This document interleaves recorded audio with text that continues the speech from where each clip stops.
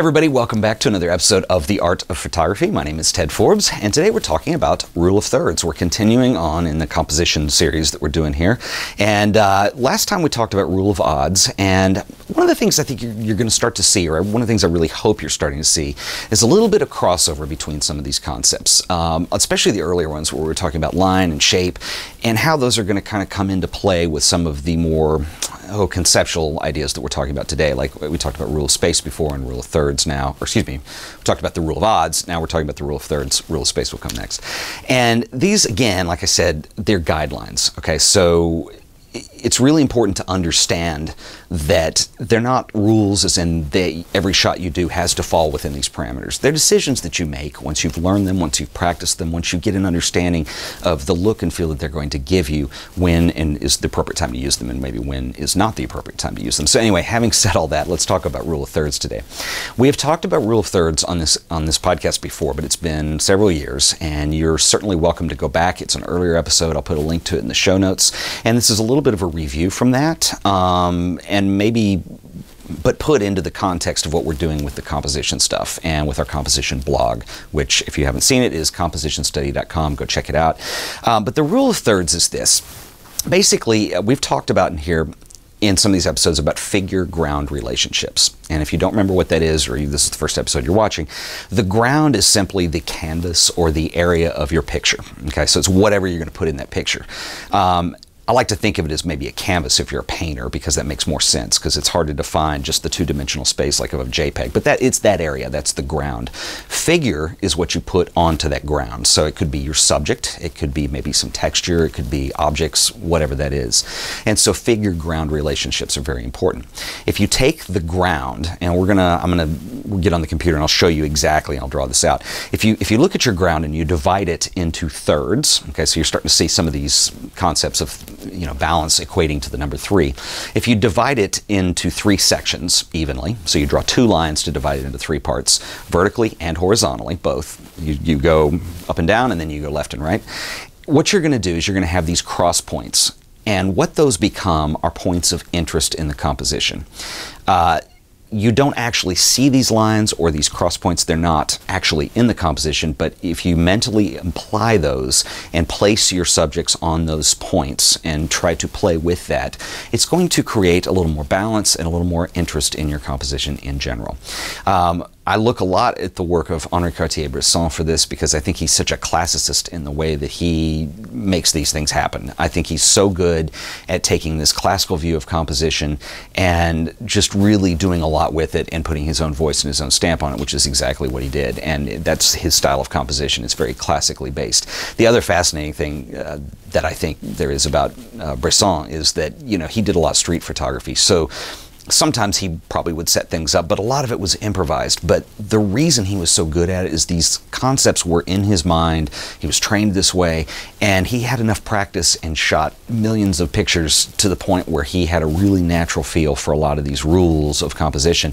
But they weren't rules, they were just ingrained in his mind and very naturally flow, flowed between what he was seeing and where to be, where to move the camera, maybe wait for the subject to move into the right position he was just so gifted at that. So let's go over to the computer and we're going to take a look at some of the rule of thirds examples here.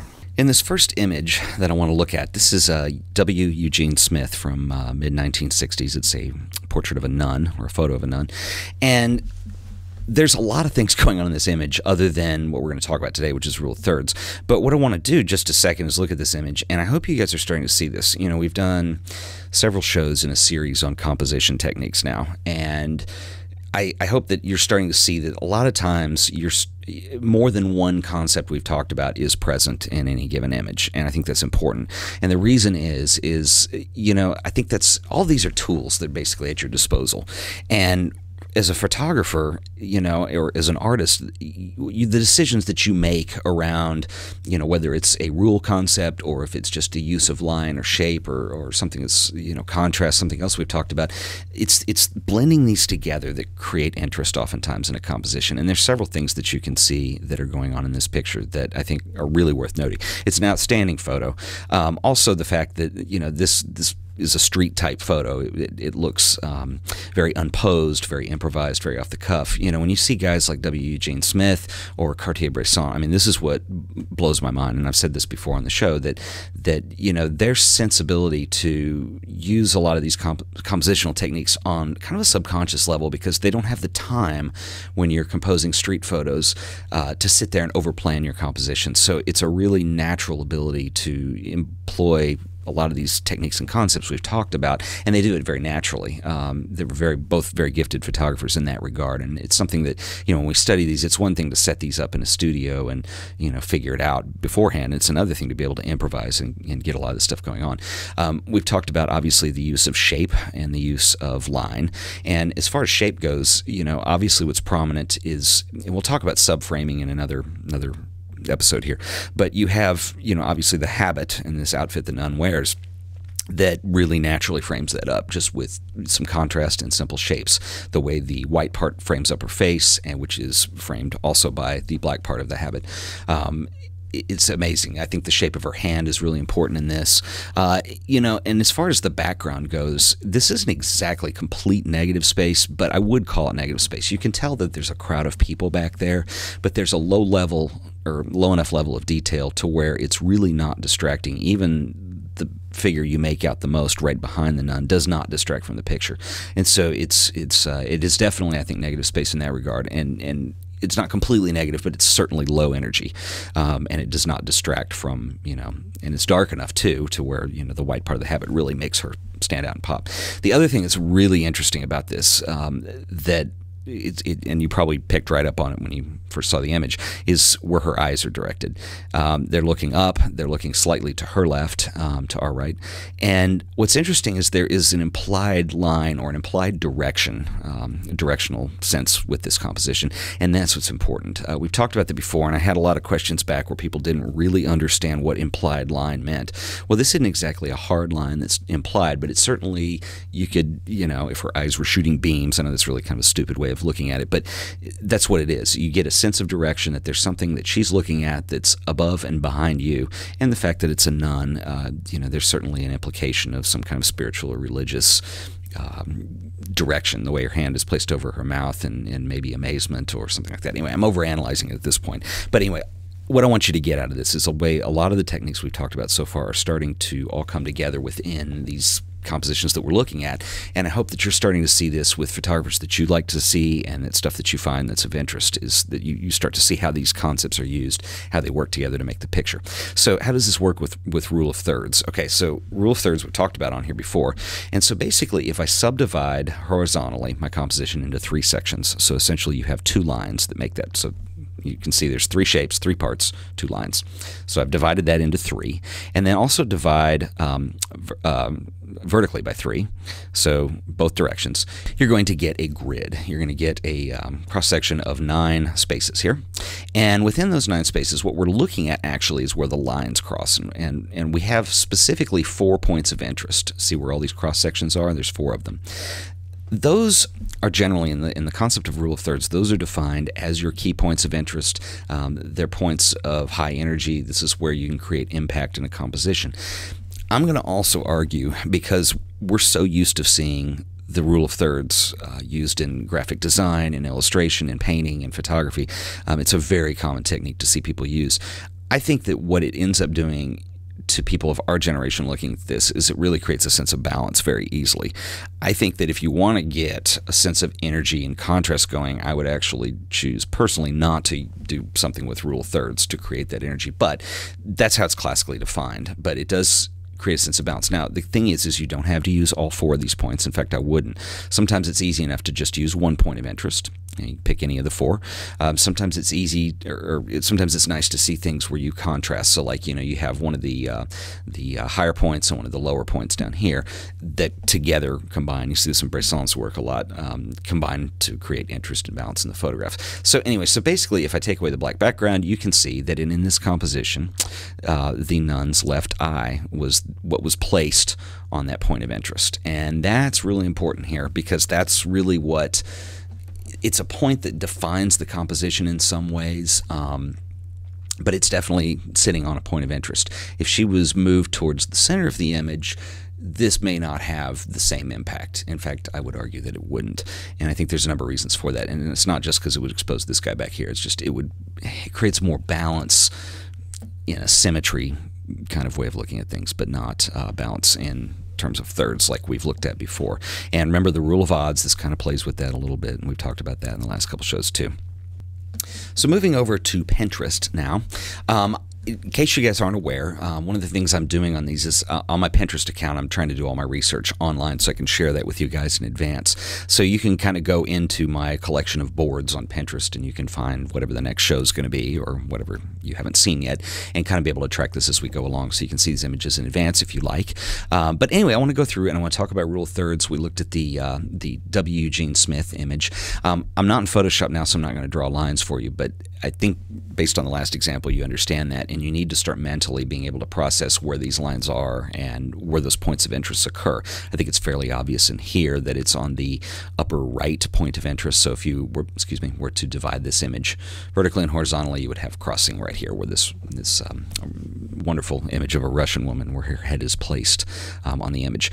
What's also interesting is you're starting to see, and we haven't covered the geometry techniques yet, but uh, there's a major triangle that's kind of floating off that's formed by these two benches that you don't see entirely. And we're going to cover um, geometric concepts pretty soon too in the compositional series. But anyway, there's several things that make this such a, a beautiful image. Uh, a couple other things I want to show you. Um, some stuff that's very conventional. Another Bresson. I love this guy with his head on the table. And you can see the bald head obviously is right on one of those points of interest. Um, anyway, very quirky, very whimsical, but wonderful image. Um, this is uh, Arnold Newman, another one of my favorite photographers. This is a portrait of Eugene Smith um, that he made, uh, the man who shot the nun photo we were just looking at. And I love it because, first of all, he's such a wonderful character to look at with the hair and the beard and the, the glasses. And, and also, and Newman did this a lot, is to put the point of interest on one of the lower corners. And, uh, you know, you can see it's pretty much kind of right near his eye right here if you were to subdivide and create those points of interest on this image. And so if you don't understand what I'm talking about, because I'm not drawing them on these images, because I want you to start seeing them mentally, you know, rewind this and watch how we subdivide it again so where you can see where those points are. I think that's really important um, to know. Um, this is uh, Imogen Cunningham, a portrait of Ansel Adams. You can see almost a square format, probably shot on a Hasselblad, something of that nature. You can see that um, the head is placed relatively near one of those points of interest. It's not exactly on it. And I think this is an important point to make as well because you don't always have to be so rigid with it. And I'll get into that in a couple images in just a second. Um, another famous image, this is, well, let's look at the final verse. This is the public excuse me, the Pablo Picasso portrait that Arnold Newman did in the 50s. And you can see that the left eye creates a sense of mystery because of the shadow, excuse me, his right eye, and uh, it is placed on one of those points of interest. What's interesting about this shot, and I couldn't find a bigger image online of this, but this is actually the original. This was a pretty tight crop of the original large format portrait. You could see even in the original portrait, he had placed Picasso's head on one of those points of interest, but I think he found oh, probably because Picasso was a cubist. Um, to box that in a lot tighter just made sense. It made a better portrait, and it spoke more of the type of artist that Picasso was. So I think it's really interesting. And a lot of a lot of the um, contact sheets that that um, Newman had marked up are available in various books and stuff that you can you can see. Um, another classic one. This is Cartier-Bresson. Um, obviously, the head of the speaker right on a point of interest. Also, you see um, some pretty elaborate symmetry, perspective, etc., going on with, with this crowd that's watching him. So this is a great image. It would have had a completely different feel had the speaker been right in the middle of the shot. It still would have been interesting, but I would argue that it's almost it's almost too symmetrical at that point. And I think offsetting that a little bit just creates a little more interest, a little more depth, a little more. Um, you know, maybe more balance in that composition than you would have if everything were straight on. Now, a couple of these images. I want to show you this one. This is um, the famous surrealist painter Max Ernst, and this was another Arnold Newman portrait. And you can see that the head, or Max's face, and he's smoking, so there's smoke everywhere. It's not right exactly on one of those points of interest in the rule of thirds. And this is a technique that you see sometimes where it's almost like it's too rigid of a composition just to follow straight up rule of thirds. So a lot of times you can pull your subject just off of it a little bit. You can tell that that point would probably be right here where this black part is. just moving his head down a little bit just creates a slight bit of depth, a slight less obvious nature to it. And I think that's really important. Um, you also see that in, well, here's an Ansel Adams picture. This is um, Autumn Moon from High Sierra. And notice how the moon is actually set off of that point just a little bit. The actual point would probably be somewhere up in here. And I think that's important. When it's too obvious, sometimes just pulling it slightly off axis just a little bit um, creates a little more um, well, it takes away the obvious and it creates a little more balance and a little more interest to it. Um, you know, maybe a little more energy to that composition. And then finally, the uh, famous JFK portrait that Arnold Newman did. I think this image, because you have such a strong perspective that's coming in from the way the building is towering down and the, the angle this is shot at and the, the, the uh, wide angle nature of the lens. And JFK's proportion to that, I don't think that Kennedy, if you'd placed his head right on the rule of thirds in this image with this angle, it just seems to flow naturally, even though it's pretty close. And I think that probably a lot of those implied lines from the perspective nature of this, from the, the way the roof hangs down, the way the window lines go, um, that creates a nature to this composition that they kind of point all at that point of interest. And I, I, don't know. I just think it was this was a good decision to bring him down. Plus, as we've talked about before, when you have subject ground relationships, you generally will call more attention to a subject. One, it's contrasty. His dark suit, his there's not a lot of light on his face. He's actually backlit. And two, um, he's close to the edge and close to a corner actually. And so that's drawing those two elements are drawing a lot of attention to kennedy. And because the proportion of him and proportion of this building is he's pretty small you almost need to bring a little more attention to him. So anyway that's been rule of thirds. And i think it's really important for you guys to start looking for this in images that you like. Um, uh, one more i can show you real quick. This is uh, faye dunaway and steve mcqueen. This is a bill ray image that was shot. And again one of the things that I like that he's playing with too are kind of oh the convex concave shapes, the way their faces join together there's a, kind of a, a, flirtatious, not even flirtatious, it's almost erotic uh, nature of the dynamics between the two of them. But these shapes all kind of come together right on a point of interest. I think that's important. He didn't put their heads on a point of interest. He took a shape that kind of is a notch deeper that you got to look for, put that on a point of interest, thus making it more obvious. And I think that's important. But it's really important to look at this stuff in context of the, the images that you like to look at um, and start to see these through the camera lens when you're taking pictures. Um, it's really pretty easy easy to start to get a feel for rule of thirds it's a little less easy to start getting a feel with how to make decisions based on like do you pull something right off of that point of interest a little bit? Well in the case of the moon image you probably yes because there's nothing else there and it becomes a little too obvious when it's right on a point. Or is it for a reason like this JFK image where you need a little more subject attention than what's going to be given just by the rule of thirds? Rule of thirds probably would have blended this a little too much. So anyway um, hit me up on Facebook Twitter follow me on Pinterest if you want to keep track of this stuff and uh, that's about it for this time so we will see you guys in the next episode. Thanks for watching.